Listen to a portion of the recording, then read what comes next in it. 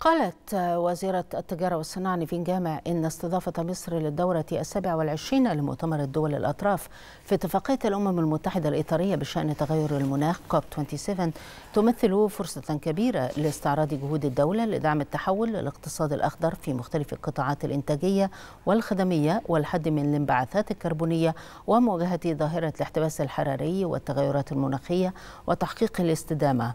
جاء ذلك خلال جلسة مباحثات موسعة عقدتها مع وزيرة البيئة ياسمين فؤاد لاستعراض آخر المستجدات الخاصة بترتيبات استضافة مصر للدورة.